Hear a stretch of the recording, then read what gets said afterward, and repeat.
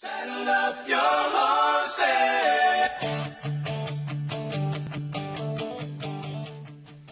With a U-Haul packed to the gills, $800 and a dental diploma, my wife Pam, my daughter, and I pulled into Spearman, Texas, a town 90 miles north of Amarillo.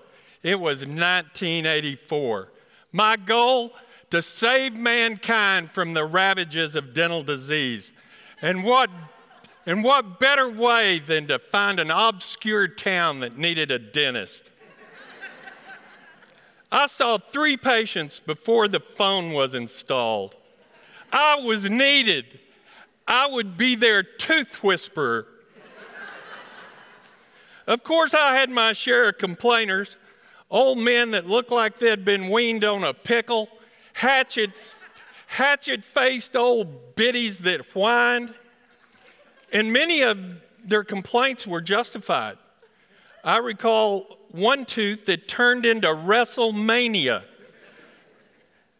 And after two hours of crumbling and splintering and grabbing and gouging, I declared victory.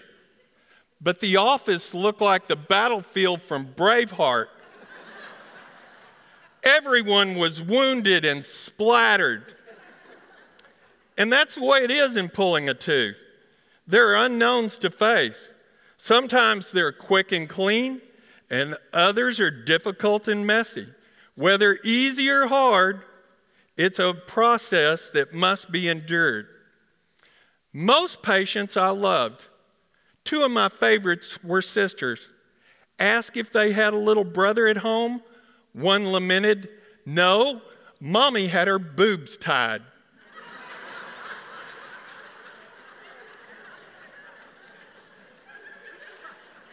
I later told their mother how I learned of her booble ligation.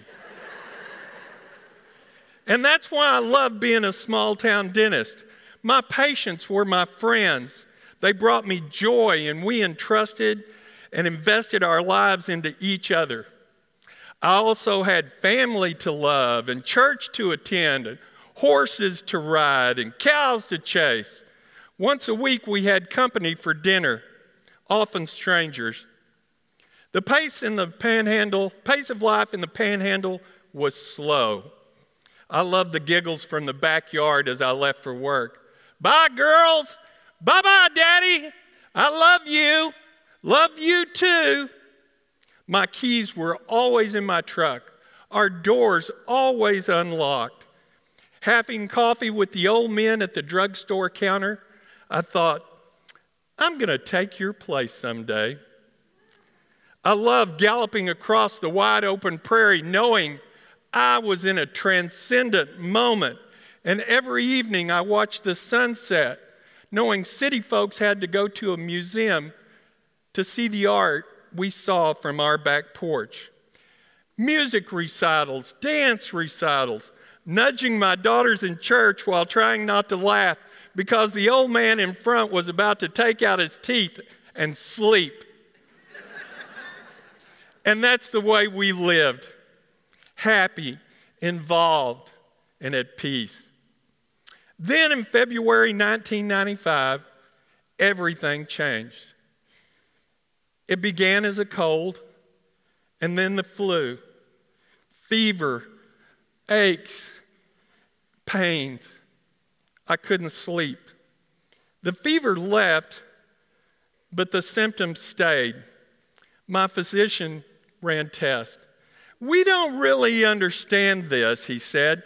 Symptoms like yours are classified as fibromyalgia or chronic fatigue syndrome. It's real, but there was no cure. I was permanently tired and achy. My muscles cramped stiff as a board. Walking was difficult. Lifting the dental drill, near impossible. Late one night, lying awake in the dark, Pam asked, Do you think God is taking us in a new direction? Emotionally and physically exhausted, I said, Yes and a tear ran down my cheek, and we held each other tight. change wasn't just coming, it had arrived. Our plan sell everything, use the money for rent in Dallas, attend seminary, and maybe teach at the dental school for extra income. Start over. Our plan failed miserably. My practice and office didn't sell. Our house sold for what we had in it. No money for housing, no dental school job. At 42, I was jumping off a cliff and taking three people with me. Church friends loaded our U Haul, and we drove off, leaving our small town in tears, ours and theirs.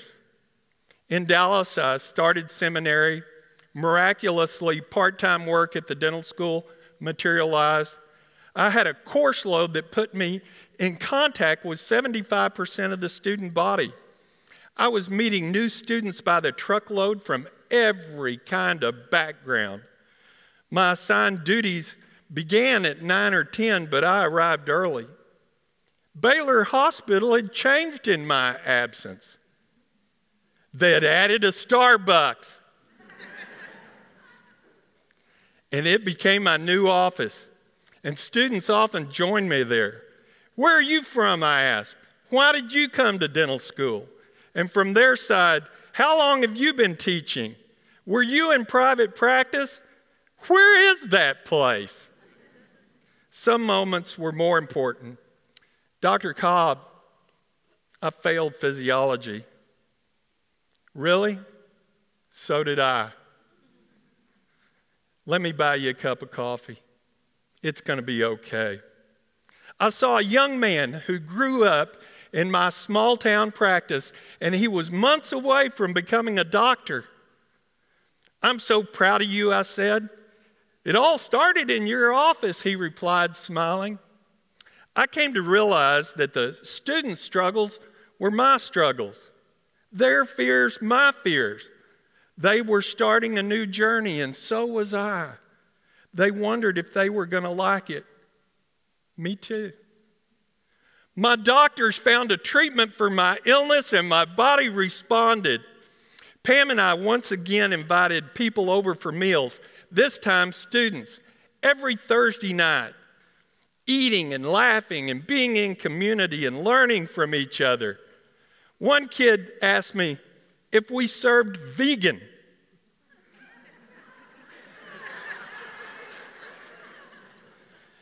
Not sure, I said, but if there's some vegan in the freezer, Pam will warm it up for you.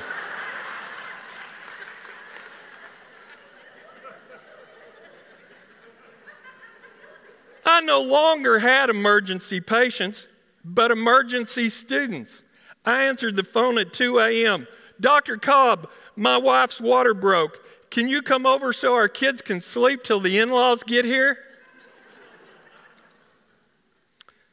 One Thursday evening, I got a call from a student's mother. Dr. Cobb, Sandra has cancer. Please tell the others. That night, I looked at the smiling faces packed into our little house, and I said, I have difficult news. And as I began to talk and cry, I saw students holding hands. I saw them holding on to each other. And I realized we're all in this together. There are days I miss the sunsets of Spearman, Texas, and the magic of galloping across that prairie. But just because one phase of life is over, life's not over. Since leaving, leaving the panhandle, I've moved my family 10 times, but in those places, we fed over 10,000 people and counting. In the end, it's the people that matter the most. And at our house, there is always a place at the table for a new friend.